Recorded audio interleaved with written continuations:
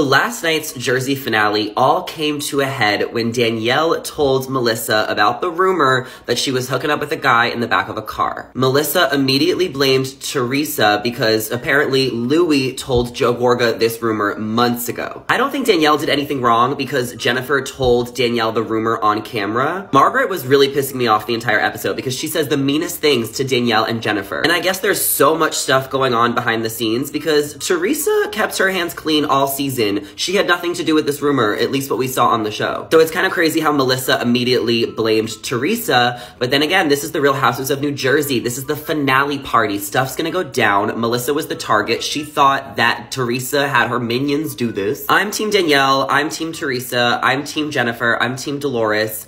I'm Team Rachel. I'm Team Melissa. I am Team everyone but Margaret.